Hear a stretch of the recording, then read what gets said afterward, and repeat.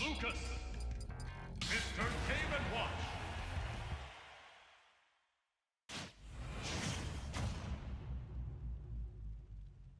Three, two, one, go!